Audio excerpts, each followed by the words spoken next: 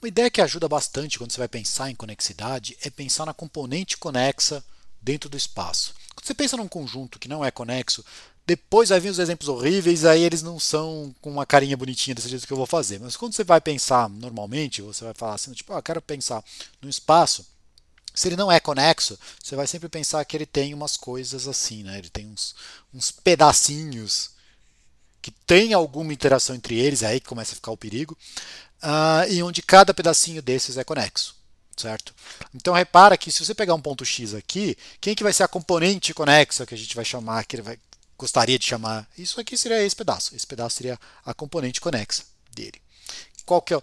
Lógico que se você tiver um pedacinho menor aqui dentro, que também é conexo, podia ser isso. Então qualquer ideia você quer pegar o maior conexo que cabe o X. É meio que é essa a ideia da componente conexa da, de um ponto. E aí a coleção das componentes conexas são todo mundo que for componente conexa de alguém, né? Obviamente esse cara aqui, ele é componente conexa tanto desse cara como desse aqui. Como é que você faz isso? Na verdade, com o que a gente tem até o momento, é super simples. Você pega um x dentro de um x, você vai falar que a componente componente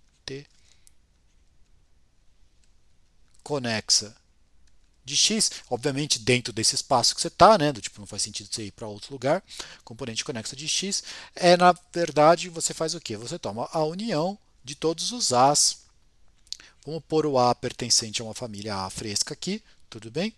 Que onde, quem, onde quem é o a fresco? Onde o a fresco é a coleção de todos os a's contidos em x, tal que x pertence a a e a é conexo.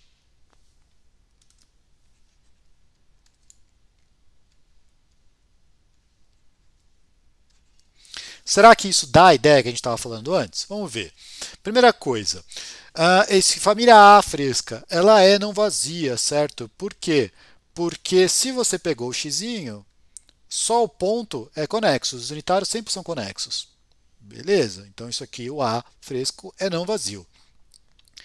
Será que essa união ela é conexa? Bom, essa união tem que ser conexa, por quê? Por causa daquele resultado do, do que a gente fez no vídeo passado, né? Você tem o x e todo mundo que está aqui dentro, todos esses possíveis a's, tem o x. Então a união de tudo isso aqui é um conexo, certo? E agora pega um conexo qualquer que tem o x. Bom, se ele é um conexo qualquer, ele é, e tem o x, ele é um dos a's que na sua família. Então ele está contido nessa união. Então, ou seja, isso aqui é um conexo e é o maior possível tem o x. Certo? Então, essa é a ideia uh, de componente conexa. Ela, com os resultados que a gente tem, é super simples. Definir esse troço e é uma coisa que é, facilita bastante na hora que você está pensando ou descrevendo o seu espaço vai ter espaços onde as componentes conexas dos, dos, pontos são os próprios pontos, são os unitários. Esses espaços são muito desconexos, o mais desconexo possível que você vai fazer. Reta Sorgenfrey é um exemplo. Os racionais, os irracionais, tem vários exemplos dentro da reta real que tem essa propriedade também. Tá bom? Conexidade é uma coisa que é fácil você perder. Mas aproveitando que a gente está falando sobre é, componente conexa, a gente viu aqui, né, tipo, já falou, bom, componente conexa obviamente é conexa com essa definição e ela é o maior conexo que contém o seu ponto. Mas uma propriedade que talvez não é tão óbvia desse momento que você olha é falar que se C é a componente é, C é a componente.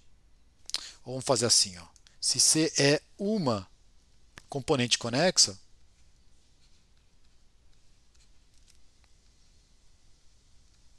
certo? Então, se existe um x tal que a, o c é a componente conexa dele, então c é fechado. Eu acho que isso aqui não é tão óbvio da, da definição. Toda componente conexa, na hora que você faz, certo? Um conexo qualquer que tenha um ponto não precisa ser fechado.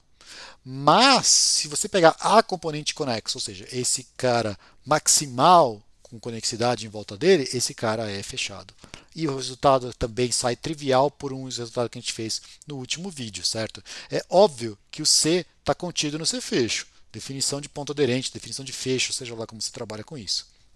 Por outro lado, se o C é conexo, C é conexo, isso aqui implica automaticamente que o C fecho é conexo. E certo, e se o C era componente conexa de um ponto x, esse ponto x está aqui, que está aqui. Ou seja, isso aqui é um conexo que tem o x, ou seja, C fecho está contido na componente conexa. Temos essas duas inclusões, é igual, então C é igual ao próprio fecho. Não sujamos a mão, certo? Fizemos um resultado bem fácil a partir dos anteriores, certo? Então isso aqui, lembrando, componente conexa é bem legal para trabalhar, às vezes ajuda bastante, mas só cuidado que às vezes as componentes conexas podem ser bem pequenas, elas podem ser unitárias. Tá bom?